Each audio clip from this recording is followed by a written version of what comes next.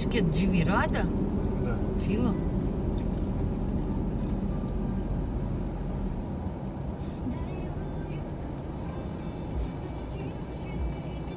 В 2006-м Тина Браун, сестра Бобби, в свое время тоже страдавшая наркозависимостью, продала историю Уитни и родного брата журналу National Enquirer. Статья вышла под громким заголовком «В наркоманском притоне Уитни». В ней, помимо прочего, говорилось, что когда Бобби был в тюрьме, Хьюстон бродила по дому в параноидальной уверенности, что за ней следят. Под кайфом она видела демонов, сообщает Тина, а как-то раз Уитни сказала, что видела самого дьявола, указывая на собственное отражение в зеркале. Хьюстон уверяла, что демоны избивали ее, но Тина считает синяки и царапины дело рук не демонов, а самой Уитни. Этот стресс в купе с наркотиками дал результат, и знаменитый голос покинул Уитни Хьюстон, казалось, навсегда. По совету друзей Уитни обратилась за помощью к Гэри Катони, выдающемуся педагогу, который ставил голос Андреа Бачелли, Лази Минелли и Шанель. Тот пошел ей навстречу со словами «Мне сказали, что Хьюстон хочет вернуться к нормальной жизни, но без голоса нормальной жизни у нее нет». Они встретились в Атланте. К тому времени брак Уитни уже развалился, ее карьера была спущена в унитаз, а родственники дежурили у ее кровати. Голос будто застрял у нее в горле, жаловался она. Пытаюсь петь, но ничего не выходит. Выглядела она ужасно, подтвердил Катон. Искудала, волосы торчали во все стороны. А ведь пение на пределе человеческих возможностей – это ее визитная карточка. Но я верил, что она справится, у нее сильный характер. И Уитни не подвела. Катона признался, что у нее никогда не было такой страстной ученицы. Хьюстон сняла домик в Калифорнии и переехала туда с дочерью, оставив мужа в Атланте. Она прямо расцвела, вспоминает Гэри. Хьюстон предпринял волевую попытку бросить курить. Как-то раз я ушел, забыв у нее синтезатор, говорит Катона. Вернулся, и она открыла мне дверь с сигаретой в руке. Взглянула на меня, обняла и выкинула сигарету. Хьюстон подала на развод в сентябре 2006 года. Бобби страшно злился, кричал, что никто не знает настоящую Уитни, дескать, ее подлинное я отражено лишь в шоу «Быть Бобби Браун». Кроме того, он остался без гроша, и его кредитки были записаны на компанию Хьюстон, и во время размолвок Уитни их блокировал.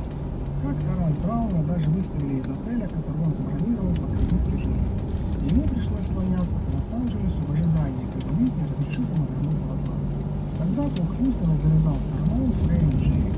Эд Хьюстон сказал об этой связи с беспощадной точностью. В отношениях Уитни искал то, что причиняет ей. Своей сомнительной славой Рэй обязан не одной только Ким Кардашьян.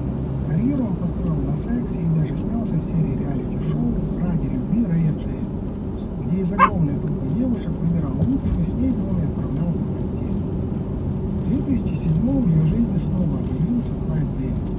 «Мне надоело слушать, как поют другие», — сказал он. «Я хочу, чтобы ты вернулась. Ты готова?» Уитни ответила «да». Клайв пришел не с пустыми руками, а с новой песней, хоть и не был уверен в том, что Уитни вытянет хит. К ноябрю 2009 к ней, по словам Катона, вернулось 75% голоса. Но название песни «I didn't know my own strain» «Я не знала, что такая сильная» говорила само за себя. И когда Хьюстон вышла на сцену в белом платье и спела, зал взорвался, Уитни вернулась. За песней последовал альбом. Новый Хьюстон обожали фанаты и придирчиво оценивали продюсеры. А критики писали, она наняла 8 танцоров из трупа Майкла Джексона, но петь и танцевать одновременно ей сложно. Хьюстон парировала, если Господь посылает мне испытания, значит, на то его воля. Она мужественно двигалась вперед, и на песне «I will always love you» неизменно срывала овации. Зал аплодировал стоя, она пела почти идеально. Уитни очень радовалась, что карьера пошла на новый виток, и даже сделала подтяжку лица. Замахивалась на большее, но сердце, печень и легкие были не в лучшем состоянии, и в более серьезной операции ей отказали. За неделю до смерти она отправилась развлекаться с Рейнджием. В голливудском ночном клубе Тру она напала на молодую певичку, якобы та убивалась за ее мужиком. Хьюстон в ярости выскочила из клуба и отправилась в отель. В свете вспышек десятков фотоаппаратов стало видно, попросила своего стилиста почитать с ней У нее были разбиты очки, так что она читала через одну линзу, вспоминая Последним, что она при мне сказала, было «Я просто хочу любить и быть любимой. Хочу любить как Иисус, из каких-либо условий, несмотря ни что».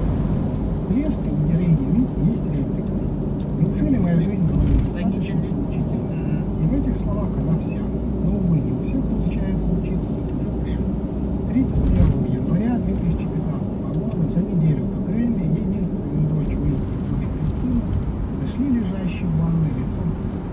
Несколькими днями позже, при повторном обыске дома, где произошло несчастье, полиция обнаружила наркотики.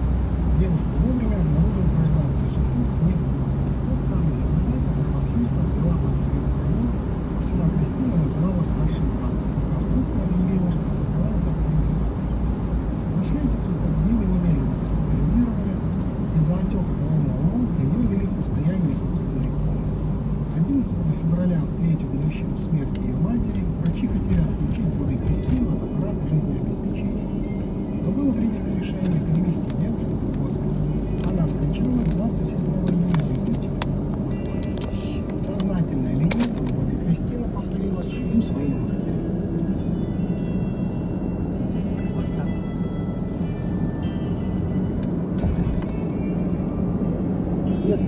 Понравилось, подписывайтесь на канал, впереди еще будет много интересного.